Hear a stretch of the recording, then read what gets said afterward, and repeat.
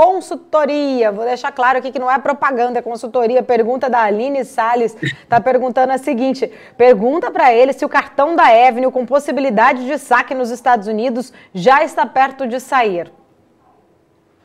Já está perto de sair, digamos assim, fazendo um, um spoiler, né? Tá aqui no meu aplicativo, a gente já começou a fazer os testes internos.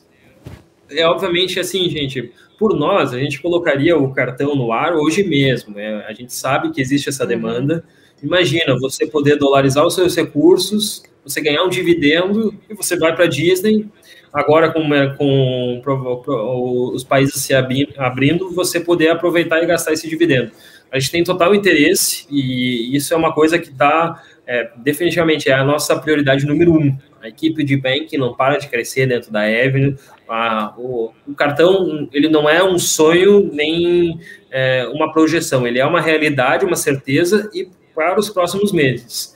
Só espera mais um pouquinho que a gente tem que acertar os pequenos detalhes. A gente não pode ter problema, a gente tem que dar um produto com total qualidade e confiança para os investidores. Então a gente ainda está terminando os testes finais, mas pode ter certeza que vai sair e logo, logo.